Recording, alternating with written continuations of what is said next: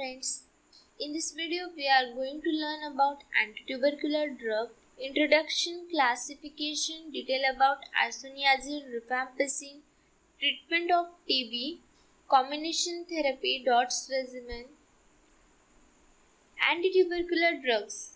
They are the agent used to treat the tuberculosis. Tuberculosis is the chronic granulomatous disease Granulomatous means which causes the granuloma. Granuloma is the collection of the immune cells at the site of the infection. It is caused by the Mycobacterium tuberculosis. Mycobacterium tuberculosis is the acid fast bacillus and demonstrated by the ZS staining. Classification First line drug, second line drug, first line drug they are more effective routinely used and they produce the more severe side effect than the second line drugs. Then it is classified into first line drug, second line drug. First line drug include the HRZDS, H isoniazid, R rifampicin, Z pyrazinamide, E streptomycin. Second line drug again divided into three parts. Fluoroquinolone, other oral drug, injectable drug. Fluoroquinolone include ofloxacin, levofloxacin, moxifloxacin, ciprofloxacin. Other oral drugs include ethaclopamide, prothionamide, cycloserine, para-aminosalicylic acid, rifabutin. Injectable drugs include kanamycin, amikacin, caparomycin.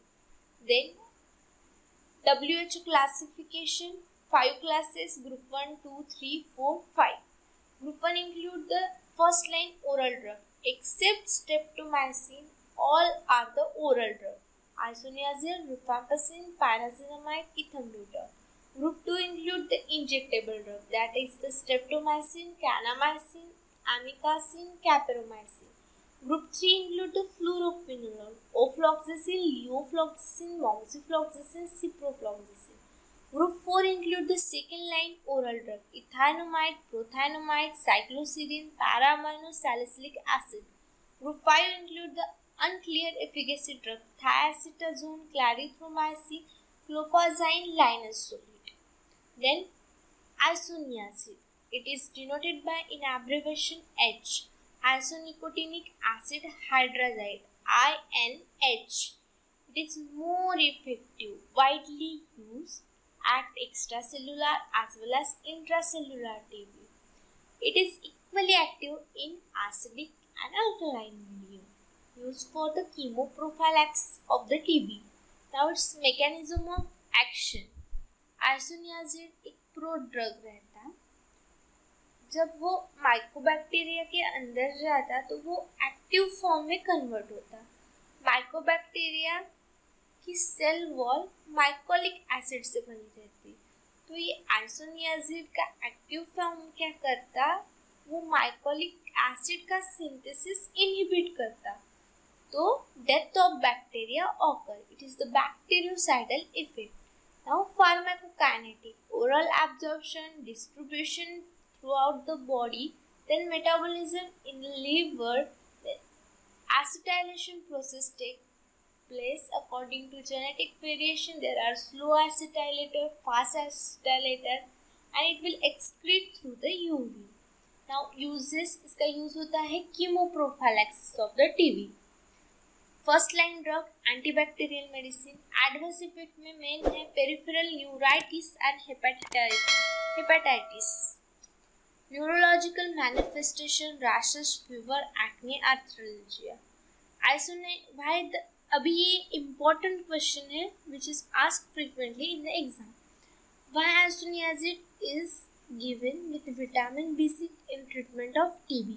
Isoniazid structure is same to that of pyridoxine so it will interfere with the utilization of the pyridoxine so there is depletion of vitamin b6 and peripheral neuropathy is produced peripheral neuropathy means weakness pain from the nerve damage so इसको prevent करने के लिए pyridoxine 10 mg per day routinely given along with the isoniazid then rifampicin it is the semi-synthetic derivative of rifamycin. It is orally taken and it is the sterilizing agent means it will act on all bacillary, bacillary sporulation. It kill both extracellular as well as intracellular bacilli and it is have the bactericidal effect. अब इसकी mechanism of action रिफेम्पसिन क्या करता है bind होता है beta unit of DNA dependent RNA polymerase so the inhibition of RNA mRNA synthesis occur and the death of the bacteria that is the tuberculocidal effect occur. Now pharmacokinetic again it is orally taken and it is इसकी speciality क्या है it is well absorb in the empty stomach मतलब इसकी गोलियाँ खाली पेट में देंगे it is well distributed in the body cavity इसका मेटाबॉलिज्म होगा लीवर में and excretion in the bile and some amount in urine uses chemoprophylaxis of TB again leprosy में यूज़ होगा prophylaxis of meningococcal H influenza and streptococcal infection में भी इसका use करते हैं adverse effect hepatitis, cutaneous syndrome, flushing, flu, fever, headache, abdominal symptoms like nausea, vomiting. Then interaction. Means rifampicin देते मतलब उसके साथ कोई अदर ड्रग कैसे एक्ट होंगे? तो रिफैम्पिसिन क्या है? It is a microsomal enzyme inducer मतलब वो जिसके साथ रिएक्ट होगा और इंटरेक्ट होगा वो खुद का तो मेटाबॉलिज्म इंक्रीज करेगा ही। सिंथेसिस इंक्रीज करेगा, साथ में उन ड्रग्स का भी इंक्रीज करेगा। So it reduces the plasma level of number of drugs so it enhance its own metabolism as well as many other drugs such as oral contraceptive anticoagulant corticosteroid steroid H I V protease inhibitor contraceptive failure have occur due to the concurrent rifampicin medication side effect क्या रहेंगे? First line रखिए, ये बहुत ही important है, इसको exam में पूछा जाता है। एम सी क्यू पूछे जाते हैं इसके ऊपर। H R Z produce hepatotoxicity then E ethambutol colour brightness streptomycin ototoxicity nephrotoxicity neurotoxicity streptomycin C is the amino glycoside. That is the pyrazinamide produce the hyper uremia इसमें क्या होता है? Uric acid का अकुमलेशन होता है in the joint then treatment treatment में क्या है? एक, उसके टीबी के ट्रीटमेंट में बहुत सारे ड्रग एक साथ दिए जाते हैं। तो ऐसा क्यों? कॉम्बिनेशन थेरेपी क्यों यूज़ करते हैं? उसके ऑब्जेक्टिव क्या है? To make the patient non infectious as early as possible kill the dividing bacteria by the bacilli by the bactericidal drugs. Development of drug resistance को प्रिवेंट करने के लिए प्रिवेंट द रिलैप्स ताकि वो फिर से नहीं हो reduce the duration of therapy R N T P revised National Tuberculosis Control Program. It was launched in India in 1997. Dots directly treatment should not cure.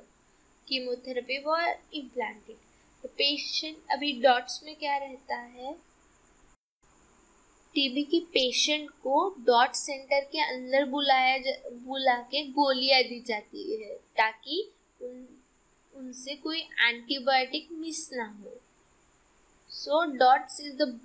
Of R N T C P prevent the emergence of drug resistant TB M D R क्या रहता है? Multi drug resistance means इसमें resistance रहता है mainly first line drug का that is especially isoniazid and rifampicin अभी DOTS treatment regiment अभी ये क्या है? डॉट्स ने एक ट्रीटमेंट कैसी हो, इसके बारे में जो बताया है वो, इसमें कैरेक्टरिस्टिक मीन्स कैसे पेशेंट को, कि कैसे गोलियाँ दी जाएगी। इफ़ पेशेंट का स्पुटम पॉजिटिव है मतलब जेड पॉजिटिव है सीरियस एक कंडीशन सीरियसली इल है स्पुटम निगेटिव है बट सीरियसली इल है। और उसको एक्स्ट्रा पल्मोनरी मतलब उसको टीबी है मेनली टीबी है टीबी के सिम्टम्स भी दिख रहे हैं, उसका स्पूटम भी पॉजिटिव आ रहा है। तो उसको इंटेंसिव फ़ेज़ में अभी ये ब्रैकेट के पहले का जो है मन को डिटेक्ट करता है और बाद का thrice a week H R Z देंगे। First line H R Z isoniazid rifampicin pyrazinamide ethambutol फिर चार मंथ के लिए H and E isoniazid ethambutol thrice a week देंगे। तो यहाँ पे टू प्लस फोर छः महीने की ट्रीटमेंट हो रही है अपनी। फिर सेकेंड केस में अगर इसमें फेल्योर आता है या फिर पेशेंट ठीक नहीं होता है तो उसको और स्ट्रॉन्ग गोलियाँ देंगे। मतलब इसमें स्ट्रेप्टोमाइसिन ऐड हो जाएगा। फिर दो मंथ के लिए एच आर जेड एस पूरे first line drug thrice follow by one month के लिए फिर स्ट्रेप्टोमाइसिन को कम कर देंगे। H R Z E thrice फिर कंटिन्यू फ़ेज़ में फाइव मंथ के लिए H R E thrice week अभी ये जो छः महीने में क्योर हो रहा था, वो अब two plus one plus five that is eight month में क्योर होगा। अभी थर्ड कंडीशन क्या है कि पेशेंट सीरियसली इल नहीं है, उसका स्पुटम निगेटिव आ रहा है, उसको एक्स्ट्रा पल्मोनरी टीबी है मतलब बॉडी के अलग ऑर्गन पे टीबी है तो उसको एच आर जेड देंगे। पहले जो दी थी वो टीबी के पेशेंट को फ़र्स्ट केस में दी थी, उससे भी कम गोलियाँ और फ़र्स्ट केस में भी जो दी, उससे ज़्यादा दो गोलियाँ देनी पड़ेंगी फेल्यूर ऑकर तो अभी ये थर्ड केस में टोटल मंथ हो रहे हैं six month thank you for watching please subscribe us